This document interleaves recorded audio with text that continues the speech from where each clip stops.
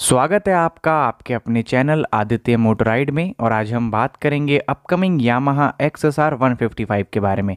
ये जो बाइक है, ये आप सबको बहुत पसंद आने वाली है और बहुत से लोग इस बाइक का काफ़ी दिनों से इंतज़ार कर रहे हैं। बात कर लेते हैं इसकी प्राइसिंग की।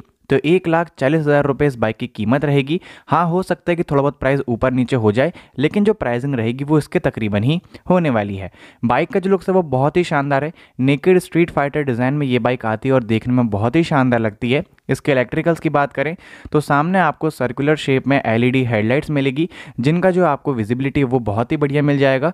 पीछे आपको सर्कुलर शेप में एलईडी टेल लाइट मिलेगी, जो कि देखने में काफ़ी क्लासी लगती है, और इसमें आपको बल्ब इंडिकेटर्स मिल जाएँगे। हालाँकि एलईडी इंडिकेटर्स देने चाहिए, लेकिन यहाँ पर यामाहा कंपनी थोड़ी बहुत कॉस्ट कटिंग करने वाली है। बाइक में आपको यूनिबॉडी सिंगल सीट मिलती है तो आप दो लोग आराम से कंफर्टेबल होकर इसमें ट्रैवल कर लोगे।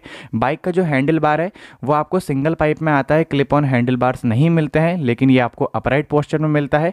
तो आप आराम से कंफर्टेबल होकर इसका राइड कर लोगे तो आपको बैक पेन जैसा कोई भी प्रॉब्लम नहीं आने वाला है।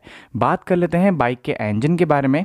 तो बाइक में आपको मिलता है 155 सीसी का liquid cooled S O H C four valve engine with fuel injection और यामाहा की वीवीए टेक्नोलॉजी आपको इसमें मिलती है, जिसमें आपको 19.3 bhp का पावर मिलेगा। और 14.7 न्यूटन मीटर का टॉर्क आपको मिल जाने वाला है। और नंबर ऑफ़ गियर्स इसमें आपको छः मिल जाएँगे। बाइक के और कुछ फीचर्स की बात करें तो इसमें आपको फुल एलसीडी इंस्ट्रूमेंट कंसोल मिलेगा, जिसमें आप ब्लूटूथ कनेक्टिविटी भी कर सकते हो और बहुत सारी इन्फॉर्मेशन ये आपको दे देगा।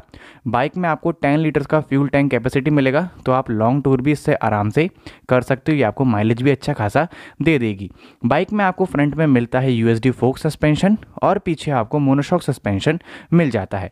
सेवनटीन इंचेस के अलॉय व्हील्स आपको इस बाइक में मिलेंगे। सामने आपको हंड्रेड सेक्शन एट्टी का टायर मिलेगा और पीछे आपको वन फोर्टी सेक्शन सेवेंटी का टायर मिल जाएगा।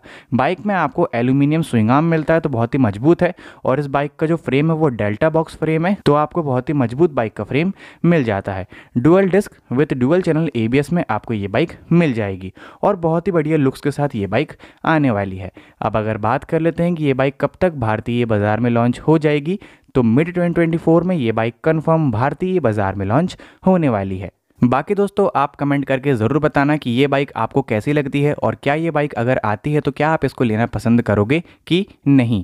तो उम्मीद है कि आप सभी को ये वीडियो पसंद आई होगी और अगर आपको ये वीडियो पसंद आई है तो उसको लाइक करो, शेयर करो और अगर आप मेरे चैनल पर नए आए हो तो सब्सक्राइब करके बेलाइकन दबा दो क्योंकि मैं आप लोगों के लिए ऐसे ही वीडियोज़ लाता रहता हूँ। अभी के लिए thanks till then wait for my new upcoming videos